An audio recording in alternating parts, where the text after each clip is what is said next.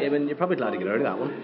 Definitely, you know, I think um, when we seen the draw, we seen like we obviously had Unions and we knew going down to the bridge against St Michael's was going to be the was going to be a tough one. Like, and you know, the Unions one would have jumped out from people looking in, but we knew ourselves coming down here was going to be a was going to be a tough affair and we woke up in the morning and we seen the conditions, it was just doubly so. So um, pressure was on there, um, especially coming in there at the end of the first half.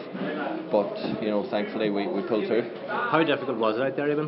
That was extremely difficult. You know, I think um, I was taking a few free kicks there, and I looked uh, I looked dodgy enough on the ball. But just the fact it was so hard to even kick the ball, so hard to solo, bounce the ball, and you know, just the basic skills where you needed that wee bit extra con- concentration. So. Uh, it was a battle, and you know, St Michael's battled hard, and we battled hard, and at this time of year, and them kind of conditions, that's what it's all about. And I'm sure down the years, St Michael's have won many a game here when they were only three points out at half time, and that would have been the back of your minds, I suppose, at the break.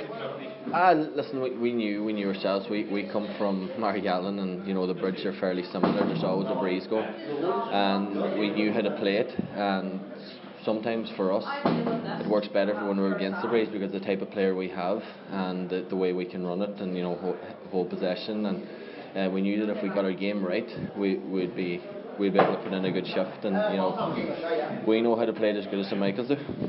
I suppose you did play well in the second half, and that goal that uh, Gary McFadden scored with Nisha, you know, making a break, that was nearly the perfect way to play into the wind.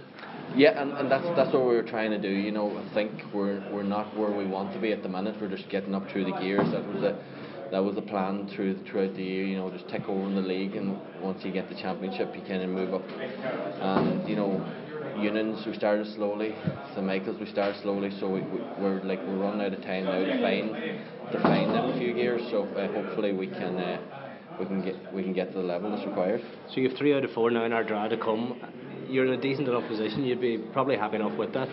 Uh, we're we're, ha- we're happy enough. You know, you have to realise that St Michael's and Unions are in the top the top half of the teams in, in the county. So two tough games. Hopefully, go down Ardara. You know, they're a championship side. They'll be tough enough themselves. So you go down, and we'll be looking to top the group.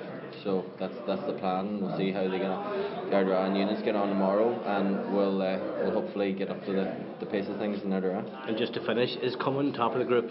It's become probably more important in recent years. I, th- I think it is uh, because that means you know with the with the draw of the second place team that you can you can time it right for the for the semi semi final, and you know if the, if the draw is good to you in the quarter final, you know it just gives you a wee bit extra time. So it's important that that uh, it's it's a it's a benefit, it's an advantage to a team to finish to finish first. So at the end of the day, if we finish second, we'll just suck it up and get on with it. But we'd rather be finishing first.